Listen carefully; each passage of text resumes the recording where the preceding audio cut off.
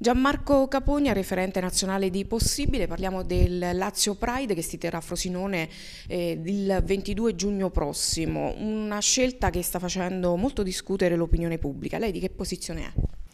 Allora, noi di Possibile in questi anni siamo sempre stati al fianco della comunità LGBT nella loro richiesta eh, di rispetto, nella dignità e nei diritti umani fondamentali. Eh, fa anche un po' sorridere che oggi, ancora oggi nel 2019, eh, ci siano diciamo, queste grandi posizioni differenti sulla questione di, di, un Pride. Il Pride è un momento di rivendicazione collettiva di diritti, di uguaglianza, di libertà, del principio di autodeterminazione. Credo che mai come quest'anno, eh, con un clima particolarmente duro nei confronti delle persone omosessuali, lesbiche, transessuali, ma anche delle donne e di altre minoranze, sia veramente importante importante eh, che ci siano momenti collettivi eh, di, di, battaglia e di rivendicazione. Sono molto felice, noi di Possibile siamo molto felici che il comitato promotore del Lazio Pride abbia scelto Frosinone, eh, che quindi si avvia ad avere il primo Pride in città e siamo molto felici che l'abbia fatto quest'anno, eh, quando ricorrono i 50 anni dai moti di Stonewall a New York, che sono stati il primo momento in cui la comunità omosessuale ha deciso di ribellare ribellarsi ai soprusi e alle discriminazioni.